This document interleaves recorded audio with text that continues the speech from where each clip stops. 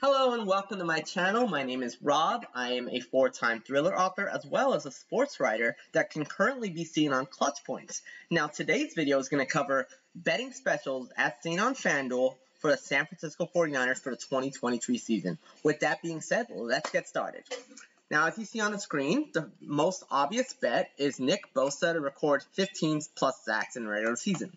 And the reason why this is a very favorable bet is because Bosa has had 18 and a half sacks last season, and he had 15 and a half sacks in 2021.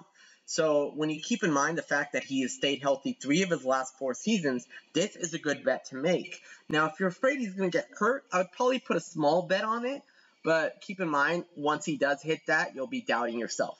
So Bosa is almost assuring to get this, assuming he stays healthy. 49ers to score one plus touchdown in every regular season game. Now, when you think about it, 49ers have Christian McCaffrey running the ball. They have Elijah Mitchell backing him up. George Kittle, Brandon Aiyuk, Deebo Samuel, all catching passes from either Trey Lance or Brock Purdy. I would make this bet. Plus one touchdown in every regular season game. 49ers to beat the Seahawks on the road and at home in the regular season. Now, if you've been watching the 49ers as long as I have, then you know that the 49ers rarely sweep the Seahawks. What happened last season does not happen. In fact, it's only happened two times in the last 15 years. So I'd be pretty cautious and I wouldn't make this bet because of the fact that the Seahawks got better throughout in the offseason. I mean, I think they're going to steal a game from the 49ers either at Lumen Field at home or they're going to steal it at Levi Stadium. 49ers to reach the NFC Championship game. The only thing that can stop that from happening is injuries or if their opponents get the jump on them. The 49ers will have games against the NFC East, which includes slates against the Dallas Cowboys and New York Giants at home. They'll also have to travel to the Philadelphia Eagles Stadium in Lincoln Financial Field in December.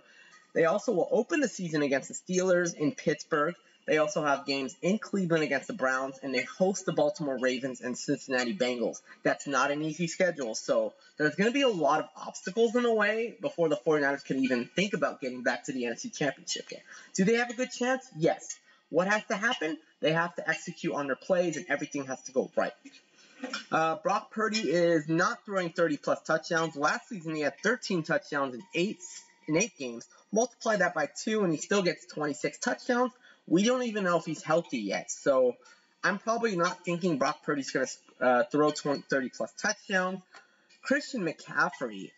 Well, McCaffrey can get 10 plus rushing touchdowns. The only problem with that is I think the 49ers are going to try and give Elijah Mitchell a lot of opportunities. So that's going to take away touchdowns from McCaffrey. But I do think he's going to get 10 overall touchdowns. It's probably going to come in the form of like seven rushing touchdowns and three receiving touchdowns. 49ers are going to probably design plays where they throw the ball to McCaffrey like they did last year, and that's going to give them opportunities to catch touchdowns in the end zone instead of running it into the end zone.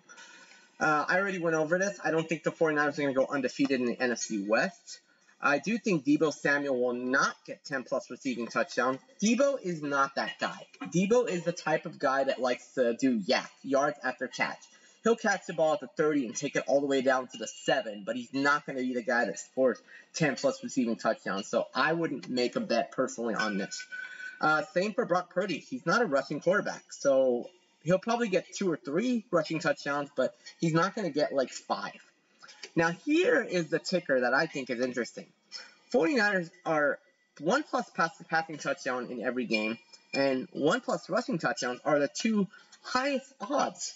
Now, when you have weapons like Kittle, Aiyuk, Samuel, all catching passes, this bet is very likely to happen. So I don't know how the odds are 1600 to 1.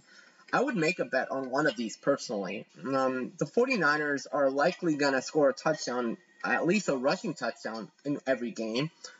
The only thing, again, that can go wrong is if weather elements play a role. But I do think either one of these bets would be a good bet. So that concludes the 49ers betting specials on FanDuel. What do you think? Do you think the 49ers are going to hit any of these bets? And if so, which bets do you think they're going to hit? Let me know in the comments. Like, share, and subscribe. Thank you for watching this video, and have a great day.